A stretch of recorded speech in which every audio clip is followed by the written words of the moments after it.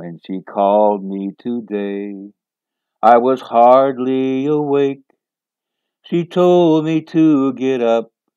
It's time to celebrate.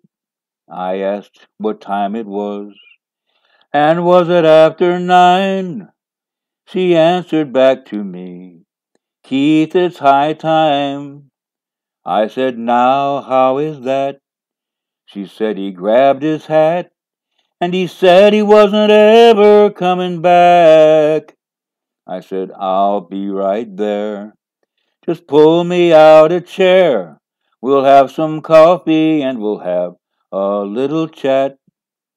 I got out of my car and I walked up to her door. I saw her standing there. Now what she crying for?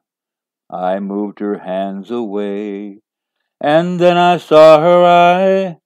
And then I said to her, Babe, it's high time. Yes, it's high time to forget him. If he comes back, just reject him. All you need is my true tender love and care. And then she was all right. As I held her oh so tight, I placed her on the bed. Then she turned out the light.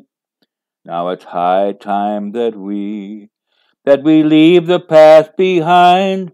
I've always wanted you for mine, and now's the right time.